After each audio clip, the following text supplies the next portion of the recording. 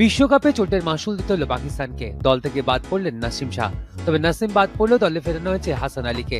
সব মিলিয়ে মোট পনেরো জনের দল ঘোষণা করেছেন পাকিস্তানের প্রধান নির্বাচক ইনজামামুল হক। বাবরের নেতৃত্বে বিশ্বকাপ খেলতে ভারতে আসছে পাকিস্তান। তবে শাহিন শাহ আফ্রিদি নয়, সাদাব খানকেই সহ অধিনায়ক পদে। তবে শাহিন শাহ আফ্রিদি নয়, সাদাব খানকেই সহ অধিনায়ক পদে বহাল রাখা হয়েছে। চোদ্দই অক্টোবর বিশ্বকাপের সবচেয়ে বড় ম্যাচ। আহমেদাবাদে মুখোমুখি হবে ভারত ও পাকিস্তান।